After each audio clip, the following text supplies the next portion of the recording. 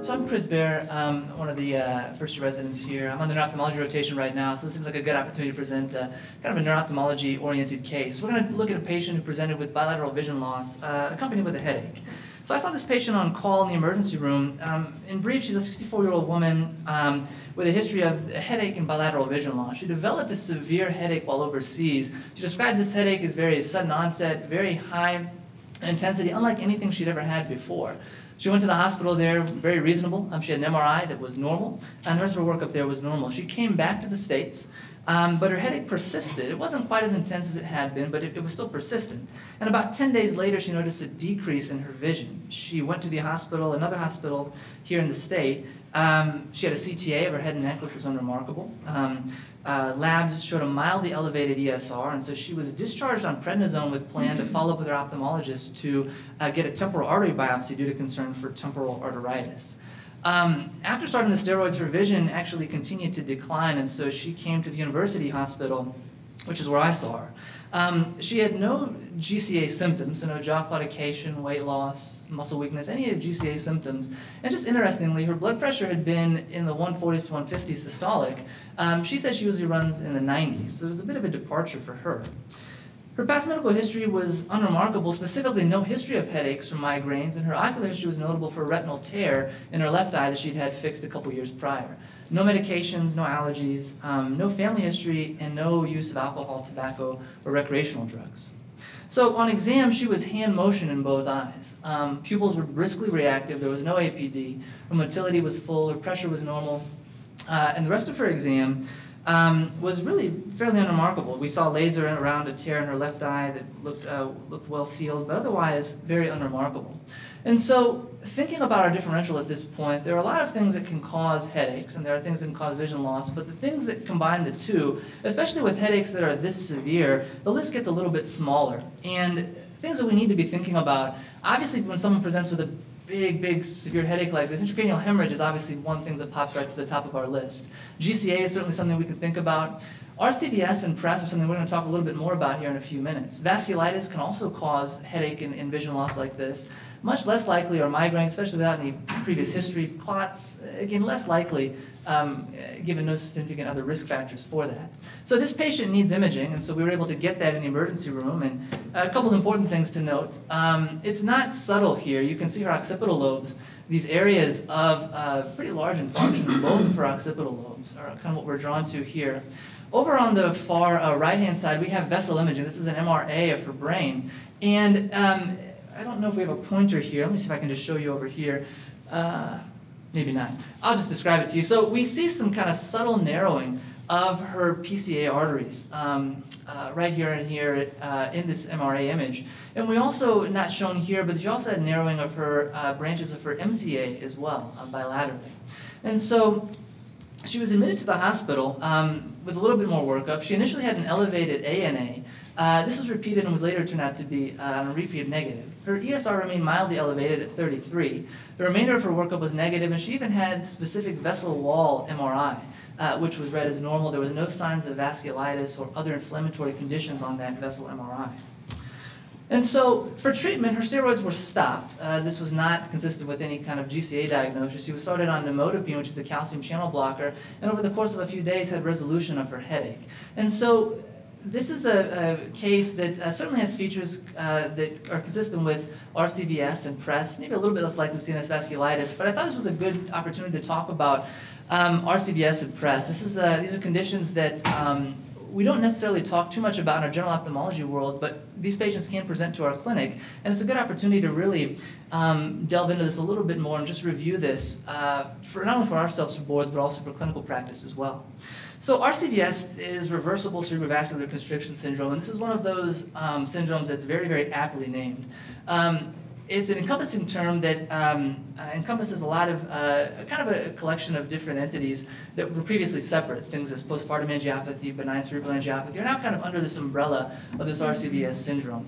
The pathophysiology involves transient reversible narrowing of, her, of cerebral vasculature, and it's unclear what the precipitating event is in these. Some people have speculated that headaches will result in vascular narrowing. Some people say that it's the vascular narrowing that comes first, and so people are not necessarily sure um, but we do see this transient reversible narrowing of the cerebral vasculature. Uh, women are commonly more affected than men. There's no really significant predilection for age or race in the literature. Um, risk factors for this can include things like pregnancy, um, vasoconstrictive drugs, specifically things like um, cocaine, heroin, uh, marijuana has been implicated. Um, SSRIs are another common implicating factor as well. Um, if you have thrombosis, that can do it. And then migraine is also a, a risk factor as well. It's important to know that these are associated risk factors. Not a lot has been shown to prove causation of these things. The clinical presentation, typically folks will present with a sudden onset, very severe headache, unlike anything they've ever had before. Folks who have migraines and other types of headaches note a very clear distinction between this type of headache and um, uh, their typical migraine headaches. Typically, these are located occipitally, and they can, can be associated with nausea and photophobia. Um, they'll typically have periods of these intense pain uh, followed by areas of relief. Um, and so like in our patient, her headache went down, never went completely away, but got better. And then they'll have exacerbations of this pain going back up to that severe level over the next few days to weeks. Um, it's very rare for patients to have RCVS without a headache. Less than 10% of people in the literature um, have a subacute or, or, not a very severe headache. And so that, that's one important diagnostic criteria here. Um, focal neurologic symptoms can develop. Headache is the predominant symptom and can be the only symptom in about a third to half of patients. But uh, focal neurologic symptoms can occur, and specifically for us, visual symptoms that we need to be looking out for could be things like scotomas, um, hemianopias, and then cortical blindness or severely decreased vision, uh, like we saw in our patient here. The diagnosis is made by a few different ways. Number one, we have to have a high clinical suspicion for this based on the clinical history and the presentation of this type of headache and, and symptoms. Laboratory testing for this is typically normal. There's really no usually laboratory abnormalities, including um, inflammatory and other labs.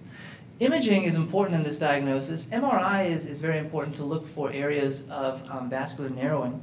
Um, but it's important to know that in, um, in a lot of cases, up to 30 to 70% of cases actually, their initial MRI will be normal. And we saw that in our patient here. She had an MRI uh, on presentation uh, when it first started that was normal. And then she also had a repeat imaging a few days later when she came here to the, the Utah that was also normal as well. And so um, neurovascular imaging is an important thing as well. So MRA, uh, CTA is an important use, uh, an important tool that we can use. And the classic description when you do angiography is you'll see this kind of sausage on a string pattern. This is really nicely highlighted up here in this picture uh, labeled A on the far uh, left. You can see these areas of um, vascular uh, dilation and narrowing, um, kind of looking like sausage on a string at a butcher shop if you've ever, ever been to one of those places. But that, that's kind of the classic description right there. Um, here is a little bit closer up view, and you can see on the, on the left-hand side here uh, these areas of vascular dilation and the vascular narrowing. This is a little bit closer up picture. And then over on the right-hand side, you can see this is a reversible process. You can see the vasculature has returned back to its normal state. Um, this is after a month later. And so the management for RCVS um, really resolves around supportive care. So you stop any inciting agents, stop the vasoconstrictive drugs if they're on anything, um, and then um, work on controlling um, uh, blood pressure uh, if their blood pressure is high. Now, blood pressure can be a little bit tricky in this um, because um, hypertension, if the patients have hypertension, it can induce further uh, vasoconstriction, which obviously we don't want. However, if you drop their blood pressure too low, it can result in hypotension, which can trigger ischemia. So it's kind of a fine balance to walk. Calcium channel blockers are kind of the, the mainstay of, of treatment that we use. Um, there's a lot of evidence for uh, things like nimodipine and verapamil um, as far as reducing the severity of their headaches and improving the, the, the um, overall symptoms. They don't necessarily uh, impact the time course of uh, vasoconstriction and, and, getting back to normal vasculature, but uh, symptomatically uh, they can certainly improve uh, the headaches uh, that the patients have. So it's a pretty controversial um, intervention. Um, we don't use them typically, and they're certainly not our first line for this condition, and we stopped those when she came here to our hospital. And then in severe recalcitrant cases where they're having progression and, and, significant neurologic symptoms, there's been case reports of actually doing intra-arterial administration of vasodilators, which um, is also a little bit of a risky proposition. Um, you risk by doing that, um, uh, you know, intra-arterial angiography certainly has its own risks, but directly infusing vasodilators also increases your risk of having a reperfusion injury uh, in these patients. So it's a little bit tricky how to manage that. Prognosis of RCVS uh, tends to be fairly good. Most people have resolution of their headaches and angi angiographic constriction within days to weeks. It is a reversible condition. However, about 15 to 20% have residual deficits from strokes, um, and we saw that in our patient here. Most of those deficits are minor, but um, some can have severe uh, deficits, as we saw in our patient here.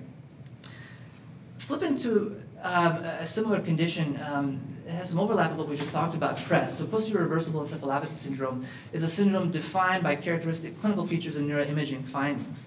Um, as in our as in RCVS, it's more commonly found in women than men, and it can affect any age group. Patients as young as two have been reported, and as old as 90 have been reported uh, throughout the literature.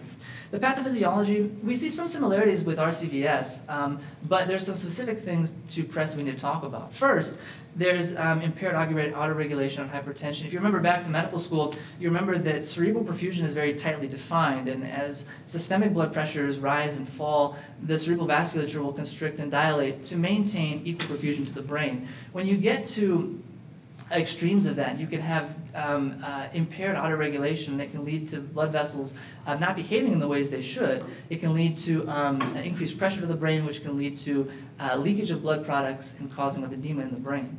On the flip side, in other cases of PRES, we can see actually cerebral ischemia and vasoconstriction, which is actually a similar mechanism to what we see in RCVS.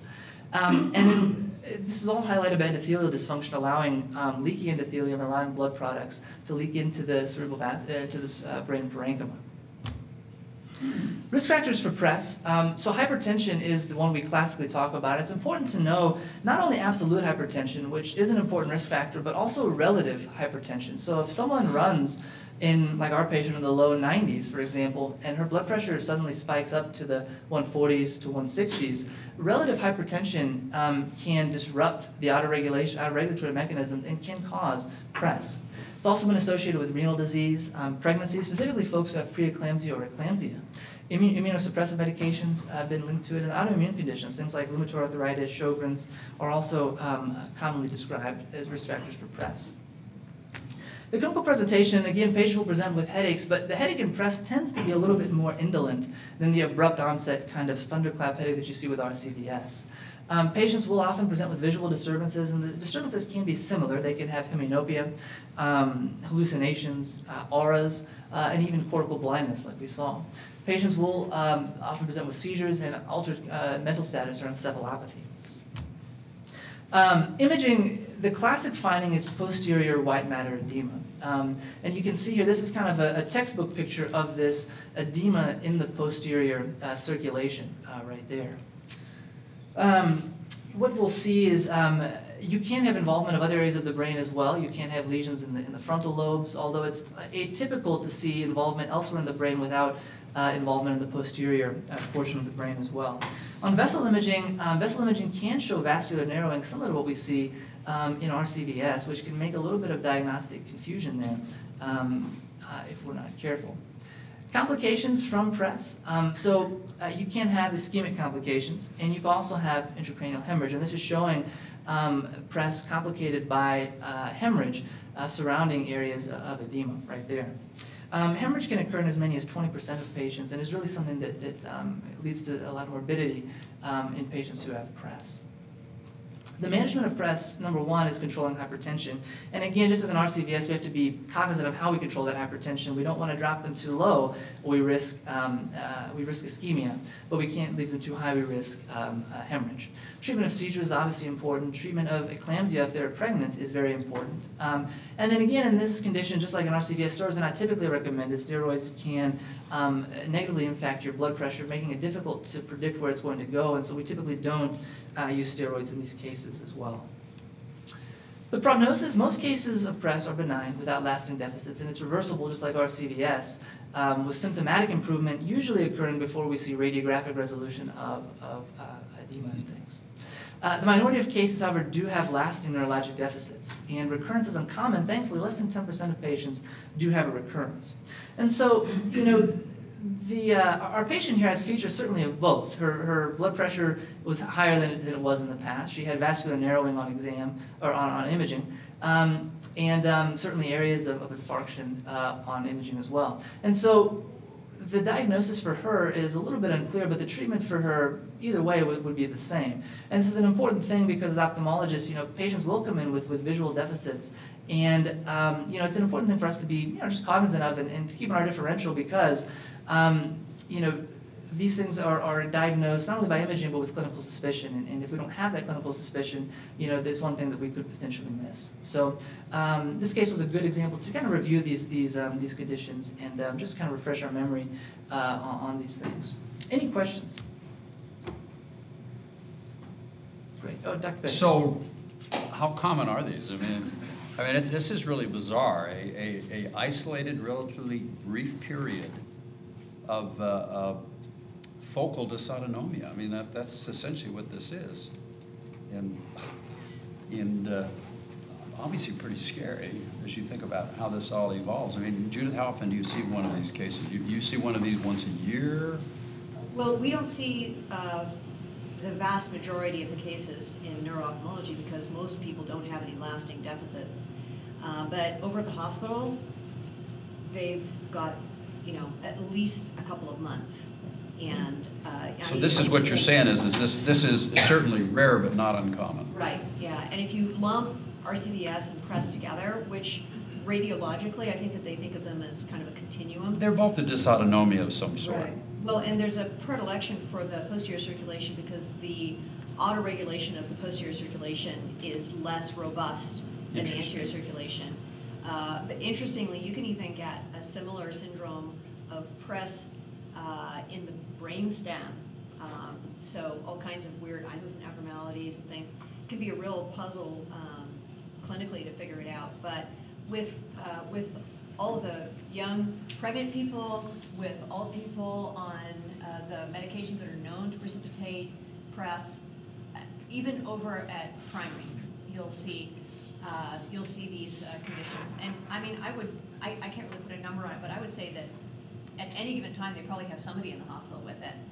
Um, Whether it be on the um, OBGYN floor or uh, in the medical ICU. Um, And it can be controlled blood pressure, the funding agent, give it time and they, it tends to resolve and not come back? Yeah, most of the time there aren't lasting deficits. But, da, da, da, the presenting neurological symptom is frequently visual. Right. Well, you can see that, So it's funny spots, in- funny spots in the vision, but their exam is normal. They may not have the fundus findings of hypertension. And in a child with this, their blood pressure may be one forty, you know, if their, if their blood pressure's normal, normally 90, 80 or ninety over palp, as children often are, they, they can have this with what to us would appear to be a relatively normal pressure. Is it usually pretty symmetrical between the two eyes? Well, since it's cortical mostly, yes. Depending where it is. Yeah, it's routinely spots in the vision. Chris, how's your patient? Has she improved at all, changed? So she saw Dr. Warner uh, in clinic, um, and um, eccentrically her vision had actually improved a bit. Um, she was able to see, I think, 2100 eccentrically.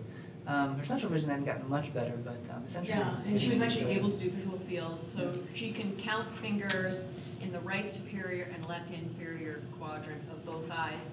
And, uh, yeah, she was actually able to see the eye chart, which there were tears aplenty, because she really had, she was functioning completely blind uh, at, at onset.